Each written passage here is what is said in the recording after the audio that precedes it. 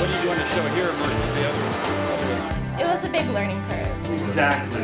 Hi, I'm Natalie, and my CSU is the Ergonomics Training Program. Uh, so it was all manual. Today we are at New Belgium, and we are going to look at their brewing process to get a sense for what ergonomics processes have been implemented and what other ergonomic processes we can help improve within their company. It's, this is a really fun machine to watch.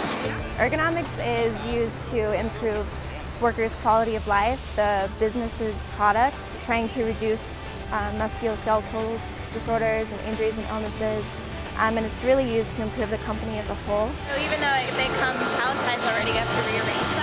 This program offered me a lot of opportunities um, in terms of research and applied research.